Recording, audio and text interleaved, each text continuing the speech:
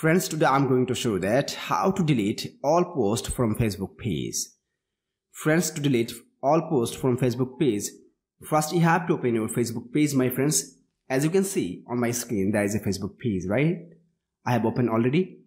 After opening the Facebook page, you have to go on content. Then my friends, from here you have to select lifetime. So click on drop down sign from here and scroll down from here from the left side and click on lifetime. By this my friends you will find here all the post here like video post anything. Simply my friends you have to select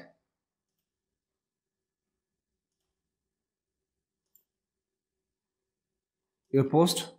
Which one you want to make delete my friends. You have to select like this.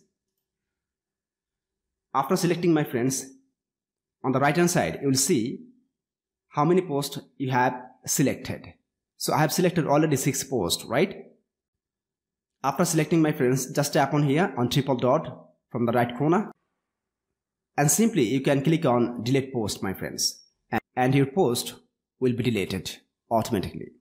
So friends, like this, if you want, you can delete all posts from Facebook page.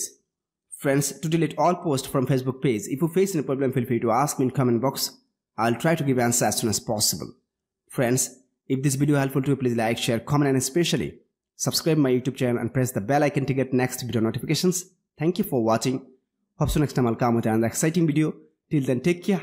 Bye-bye.